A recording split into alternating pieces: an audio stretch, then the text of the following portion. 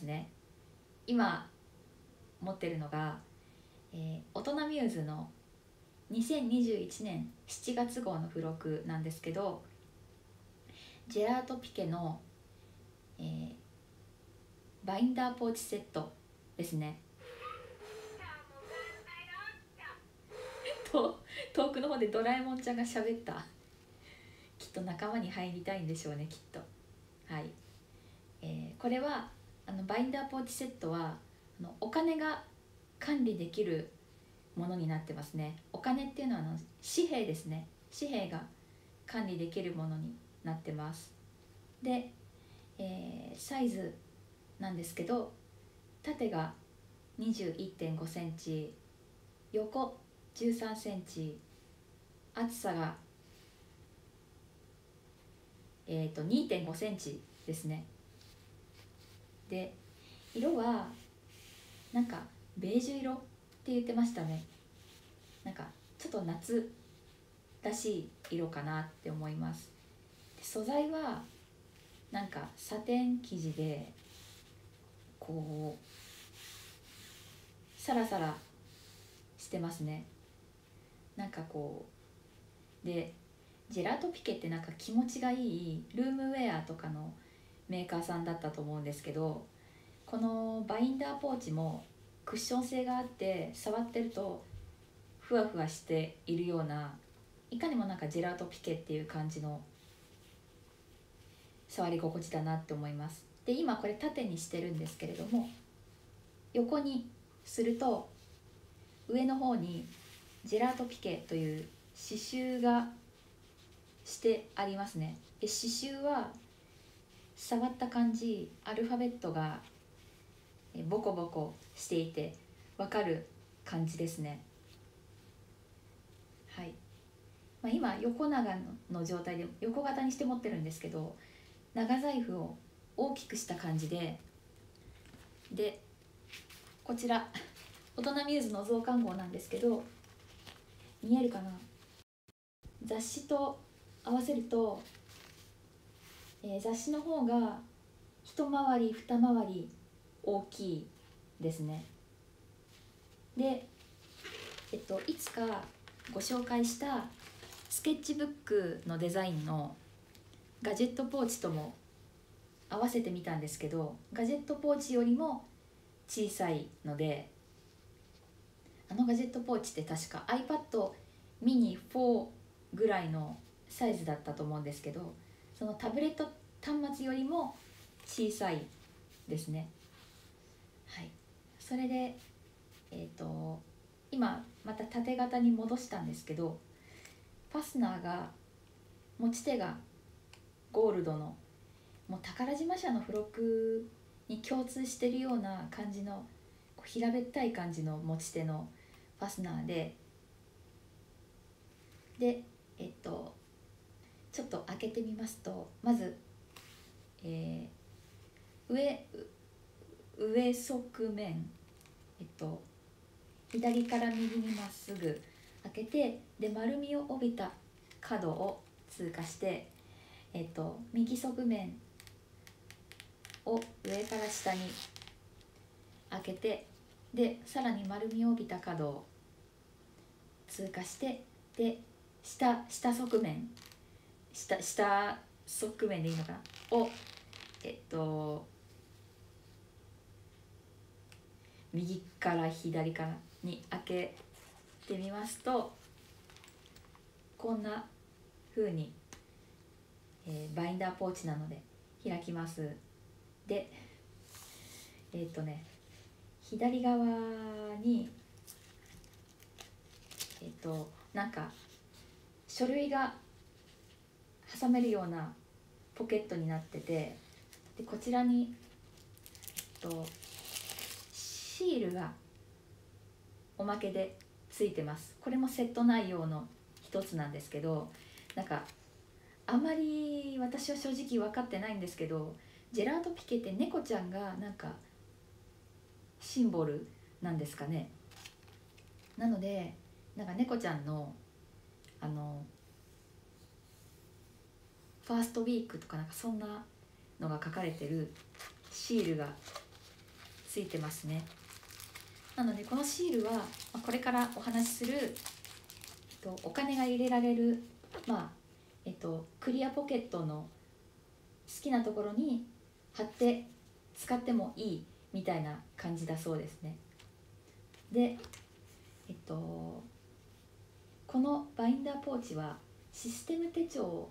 の中身も入れられるみたいで。ALV さんツイキャスでは初めましてです。クラブハウスでは少しだけ練習風景をこっそり聞いています。あ ALV さんはじめまして。ね先ほどあのツイッターの方であのフォロワーさんの方でお見かけしたらなんか私のなんかバイオリニストの同級生のファンの方でもある方かなって思ったんですけど もし間違間違ってたら申し訳ないです。はいねバイオリンがお好きな方なのかなってなんか嬉しくなりました。ツイキャスにもようこそお越しくださいました。ありがとうございます。嬉しいです。あの私もね視覚障害者なんですけどと視覚障害者目線のあえて雑誌の付録の紹介をお届けしております。はい。ありがとうございます LV さん。ALV さん多分そうだと思います。あお金もおまけでついてくるのかな？しょうあ そうですね。でもねあのまあこれからね後でお話ししようと思ってるんですけど付録感がなないんですよね。なんかはい。じゃああのちょっとお話を続けますね。でえっと左側の部分にろ六血まあ6つの穴の開いた、えークリアポケットが123 4枚ですね。セットでついてます。であの開け方なんですけど皆さんスライダーポーチって分かりますかね？こうファスナーじゃないんだけど、まあ、ジジップジッパーがついてる、まあ、スライダーポーチのような感じのクリアポケットですね。で私はあのこれウクレレのレッスンのお月謝を管理するために、えー使ってるんですけど、まあ、一番初めと初めのページに1,000円札をで2ページ目に1万円札をで3ページはな目は何も入れてなくてで4ページ目にレシートとか。レシレシートですね。を入れてます。っていうのがクリアポケットで。で、えっと、左側のページなんですけどえっとカードポケットが4つついていてでちょっと名前が入ってるね入ってるのでお見せすることはちょっと難しいんですけど、えー銀行のキャッシュカードだったり、えーちょっとね厚みのあるカードを入れてます。でこれはね外に持ち歩くっていうことはしないので、まあ、家の方で、ま、厳重に管理する必要はあるんですけど。であと4つあったカードポケットの真下にさらに大きいポケットがあってであの通帳が入るぐらいあとパスポートも入るかもしれないなぐらいのサイズのポケットがついております。なのでいかにもねなんか家計管理ポーチっていう感じですよね。あであとちょっと忘れちゃってました。あの左側のページの部分にペンホルダーがついていてと好きなペンが刺せるようになってます。でこのバインダーポーチを開けた状態の内側の部分はこうなんだろうな。こ光沢感のある感じっていうのかな。なんか結構頑丈にできてでできてますね。というのが、えーバインダーポーチのご紹介でした。でこれはあの「大人ミューズ」という雑誌についてたんですけれども大人ミューズは何回か買ってきましたがなんか付録感があまりなくて付録以上のクオリティがあるなと思いました。あとはそうですね「スイート」という雑誌もよく買うんですけどスイートも、えー、付録以上のクオリティがあるんじゃないかなと思います。で価格が最近宝島社の雑誌って少しずつお安くなっててあの今ご紹介した大人ミューズの、えー、通常号の付録になるんですけど通常号はあの書店本屋さんなんかで売ってるバージョンなんですけど、えー、1080円でしたね。で、えー、パートナーからあの誕生日プレゼントに、えー、買ってもらいました。もう大切に使ってます。もうウクレレの練習だったりバイオリンの練習のする時のお供に なってます。はい。いやそれとあともうちょっと 時間があるのでちょっと演奏でいうところの即興みたいになるんですけどちょっとアドリブで今度はお財布をご紹介したいと思います。どうですかね？映ってるかな？これで。左寄りにカメラ左寄りにしてるけど。はい。姫殿さん大丈夫よ。はい。ありがとう姫殿ちゃん。じゃあ行きますね。これねもう即興だからうまく説明できるかドキドキだけど、えー、スイートの2021年7月号の通常号の付録の方なんですけれども、えー、ジル・スチュアートの、えー、ロゴのプレートがついたハーフムーン型のお財布ですね。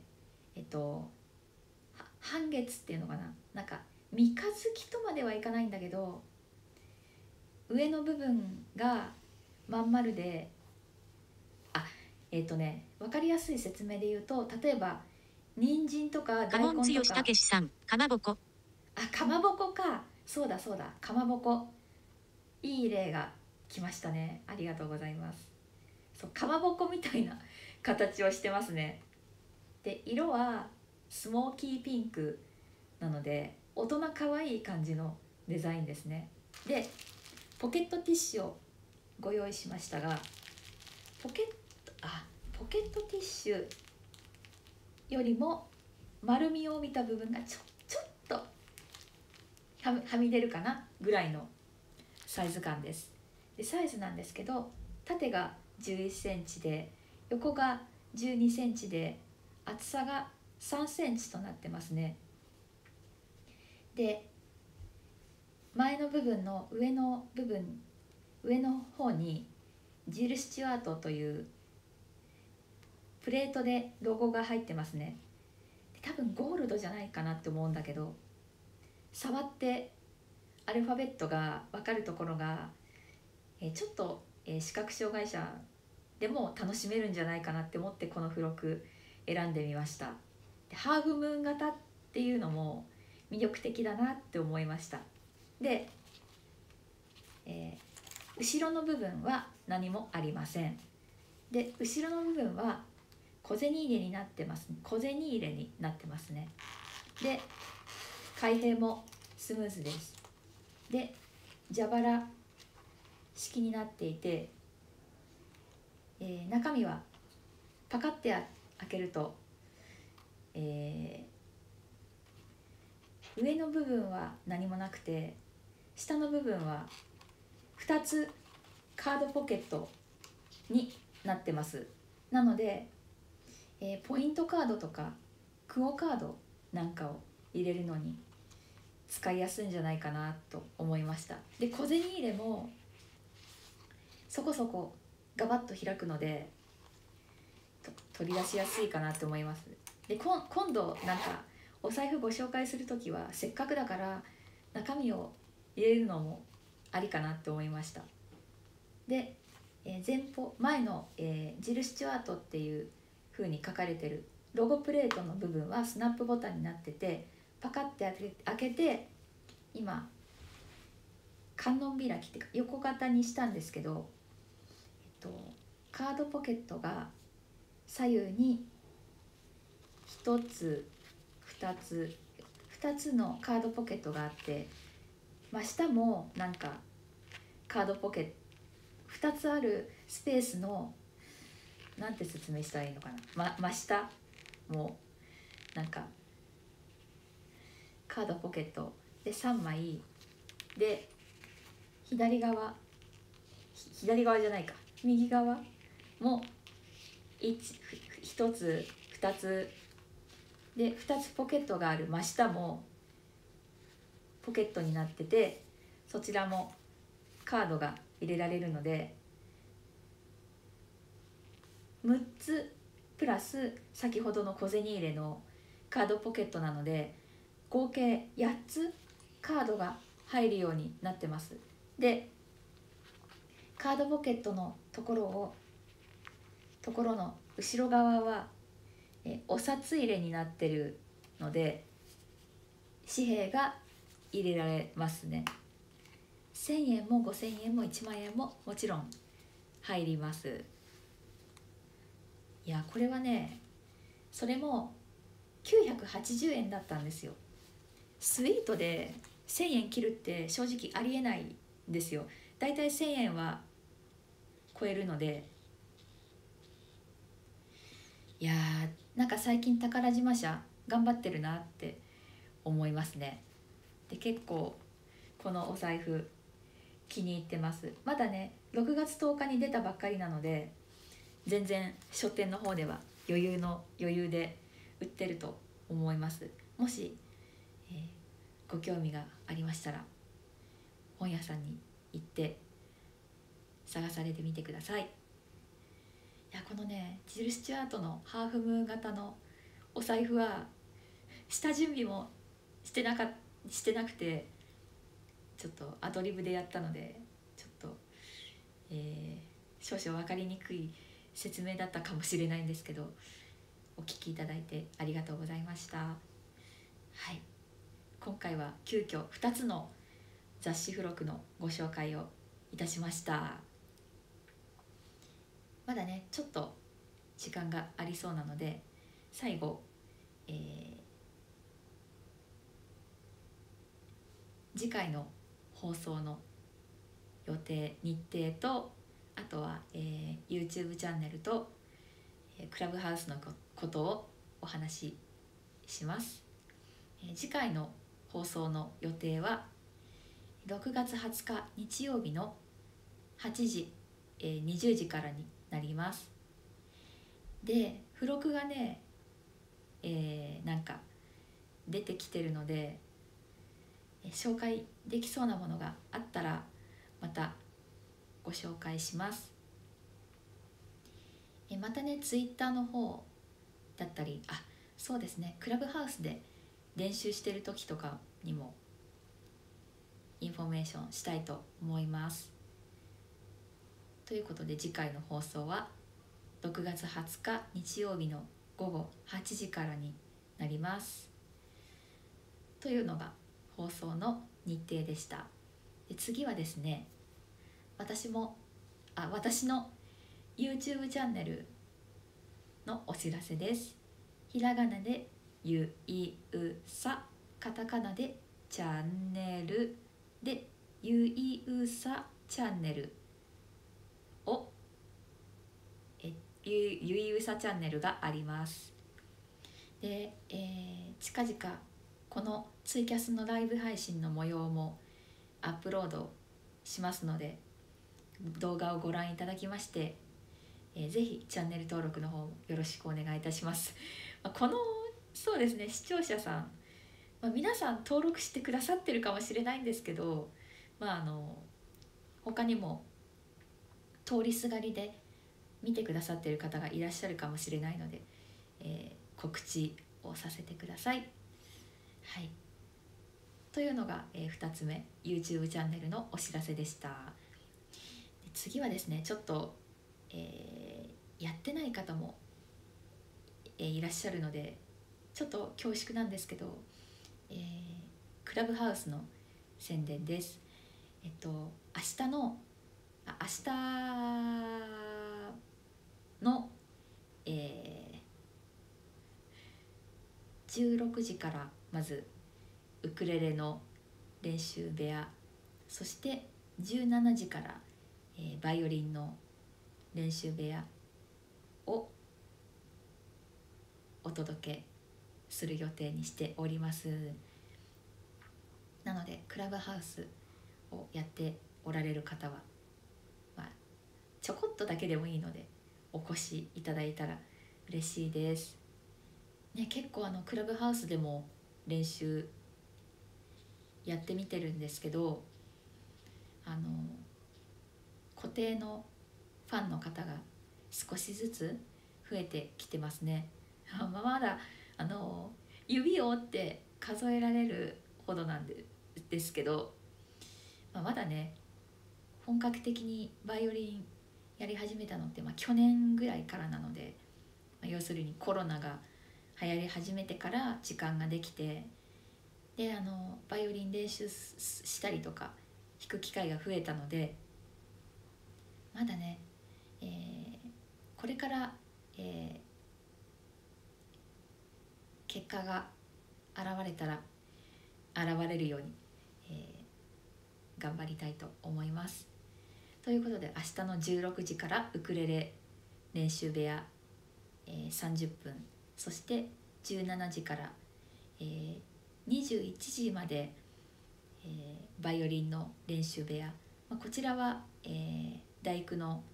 セカンドバイオリンの不読みの模様とあとコンサートで演奏する曲をちょこちょこ弾く予定にしています。